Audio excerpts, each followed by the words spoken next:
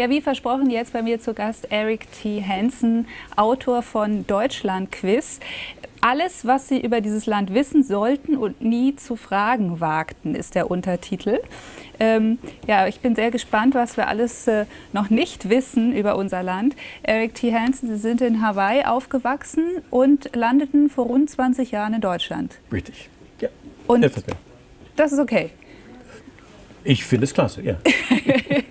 Freut mich, dass Sie mit meiner Einleitung zufrieden sind. Jetzt natürlich, äh, wie kam es dazu, dass Sie nach Deutschland gekommen sind? Das interessiert uns natürlich jetzt alle brennend. Ich habe mich als äh, junger auf Hawaii, der nicht surfen konnte, mhm. mich ins Mittelalter verliebt, ins europäische Mittelalter. Mhm. Und äh, ich wollte es immer sehen. Und äh, irgendwann musste ich einen Weg finden, nach äh, Europa zu kommen, um das Mittelalter zu sehen. Mhm. Und ähm, der Weg führte nach Deutschland, zufällig. Und so bin ich hier geblieben. Alles klar.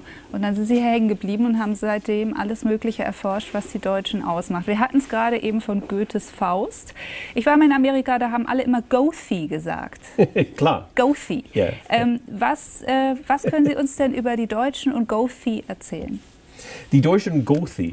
Erstens, Goethe hätte Faust nie geschrieben ohne die Engländer. Aha. Weil, Klar. Ähm, ja, doch. Ja, klar, weil er, er lernt, es kennen nach dem Christopher Marlowe. Genau. Äh, das, obwohl es ursprünglich im späten Mittelalter äh, eine deutsche Legende war. Äh, das finde ich faszinierend, also dass diese, diese Urding der deutschen Kultur äh, ein, ein eigentlich quasi aus Deutschland kommt, aber bevor es wieder zu deutschen Klassiker wurde, um die Welt ging. Mhm. Das finde ich typisch für Deutschland auch. Mhm. Ähm, was macht denn jetzt den, den Deutschen im Kern aus? Das haben Sie ja quasi jetzt erforscht. In diesem Buch hier, das Deutschland-Quiz, mhm. steht alles drin, was man über die Deutschen wissen sollte, oder? Ja. Gibt es ein, zwei Sachen, mal. die ich noch dazu ergänzen würde. Aber, aber ja, doch, im Wesentlichen. Gibt es nicht noch ein neues Buch? Planet Germany haben Sie auch schon geschrieben, die Nibelungenreise, handelt alles von den Deutschen. Und was den Deutschen im Kern ausmacht. Was macht denn nun die Deutschen im Kern aus? Was sagt denn der es, es Amerikaner aus Hawaii?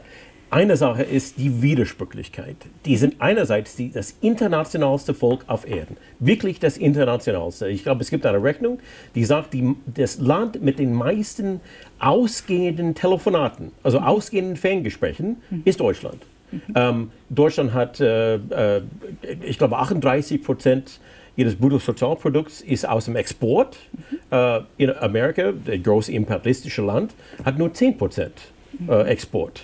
Mhm.